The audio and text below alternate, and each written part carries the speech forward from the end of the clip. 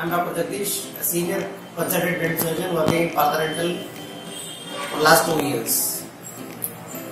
Today I am presenting the case, a female lady, a female lady around age 18 years came to me with a discolored tooth in the upper front tooth region.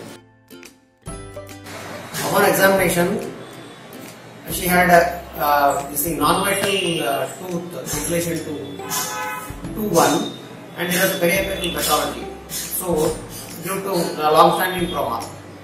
So, I extracted the tooth and I have placed an uh, 3-unit FPD in the anterior region, zirconia bridge in the anterior region.